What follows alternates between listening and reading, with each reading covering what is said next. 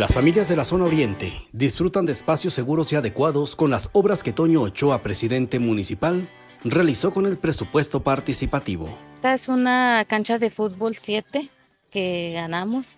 Eh, cuenta con sus porterías, es un espacio adecuado, seguro, espacioso, este, donde los alumnos pueden disfrutar de actividades deportivas y convivir sanamente. Cientos de familias ahora disfrutan de una cancha de fútbol en la San Carlos y áreas verdes en el fraccionamiento Real Victoria 2, un sueño hecho realidad.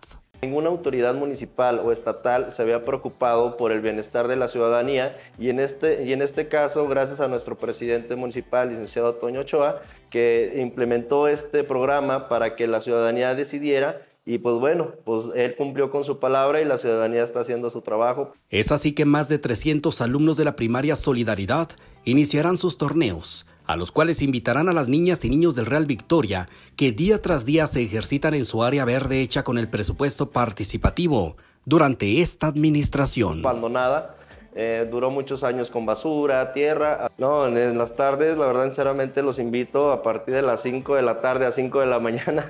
A todas horas hay mucha gente. Como le comento, es beneficiario para más de 250 familias beneficiados Fraccionamiento Real Victoria, Viñedos, Hogares del Parque, vienen algunos de San Carlos, algunos de Cielo Azul. Con imágenes y edición de Arad García, le reporta para Notigram TV, Víctor Salas.